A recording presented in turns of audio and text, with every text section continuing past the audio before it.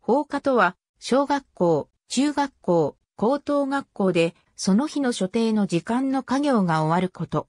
時間の長さを持たない概念である。その後の時間は、放課後と呼ぶ。愛知県では異なる。方言の一つとして、愛知県内のほぼすべての学校で、授業と授業の間の休み時間のことを放課という。逆に日常会話では、放課後とはあまり言わず、授業が終わった後は、授業後、午後、下校後、学校が終わったらのように様々な言い方がされる。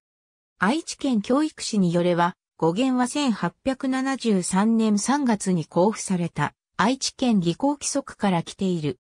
技工とは明治初期の民間の初等学校のことで小学校の前身。規則には毎日午前10時より同11時まで午後12時より同1時までの領土を放課、トスとあったのが起源である。愛知県内の報告書や教育関連の研究発表会でも、例えば放課中の事故のように、ほぼ標準語として利用されている。いくつかのテレビ番組で取り上げられたこともあり、県内でも放課が方言であるという認識は広まっている。県内では言葉の利用は続いているが、市教委などが出す文書には使われていない。いくつかある休み時間の種類に対し、10分放課、20分放課、1時間目の放課と明確な時間で分類する手法と、放課、大放課、超放課と相対的な時間で分類する手法がある。また、給食後の放課は、昼放課、長い放課、中間放課と呼ばれる。日本語大辞典、広瀬和美中日新聞。授業の合間、放課なぜ？名古屋人の勤勉さちらり。中日ウェブ、中日新聞。ピアニッシモ、名古屋特捜隊。